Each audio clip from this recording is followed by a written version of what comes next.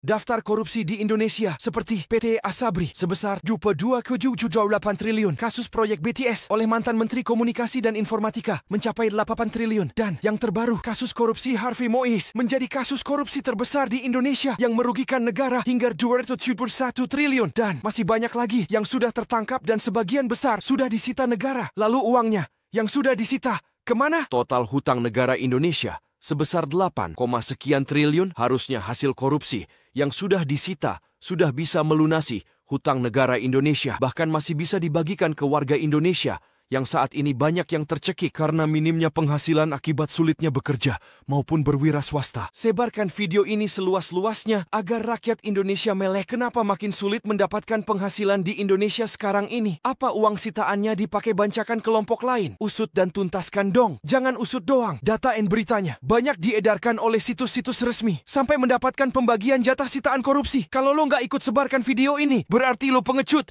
atau udah dapat jatah bancakan ya.